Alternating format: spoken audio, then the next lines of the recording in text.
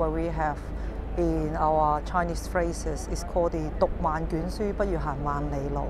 It's like you can be going to library, you might have done your master, you might have done a lot of education, but it's never the same when you actually to feel, to touch, to see, to hear, to listen, to smell the actual things.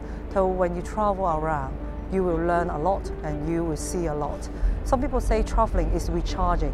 Actually, traveling is very tiring, but it is recharging for your brain, for your thinking, for your thought, to think what is before and what is going to be next. And this is what I like traveling as well. Best travel advice is not going to be from anyone at all.